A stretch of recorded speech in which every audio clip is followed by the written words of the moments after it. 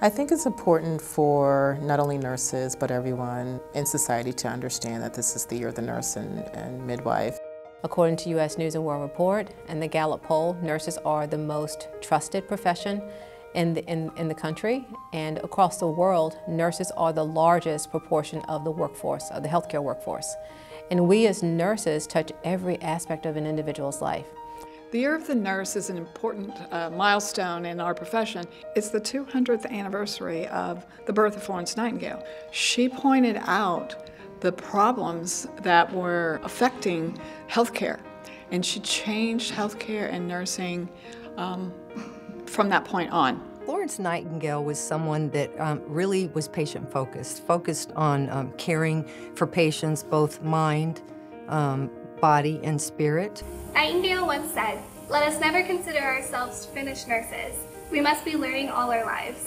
Her words have inspired me to be a sponge to continuously soak up knowledge. And this year is a great year for us uh, to celebrate, and, but also to show some of the social injustices that we still have in our profession.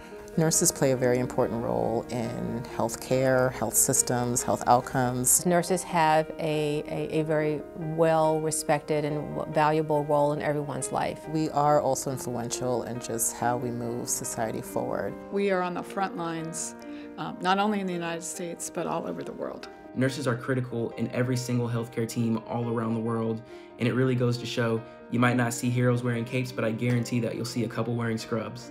Thank you to all the nurses out there. We're compassionate, we're smart, we're innovative, we're leaders, we love our families, and we're excited about what we do. But this year, I will always remember this is an unprecedented time for the new nurses. This is a great time to enter the profession.